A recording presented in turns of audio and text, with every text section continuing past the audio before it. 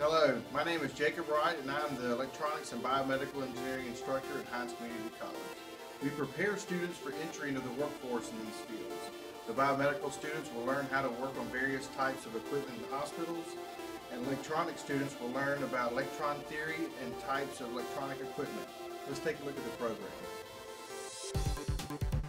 Students will learn how to solder to remove and replace electronics components.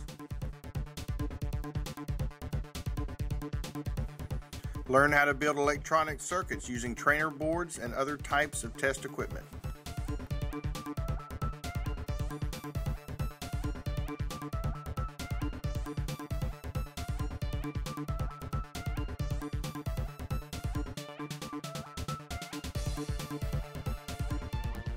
Learn about robotics and PLC programming to be able to program autonomous machines.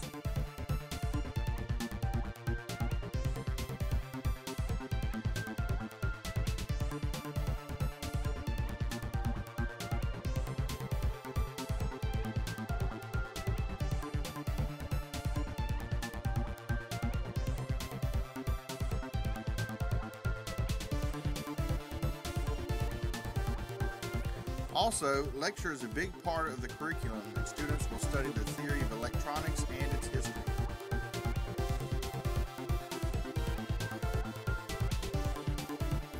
Biomedical students will learn how to repair and maintain different types of hospital equipment as seen here.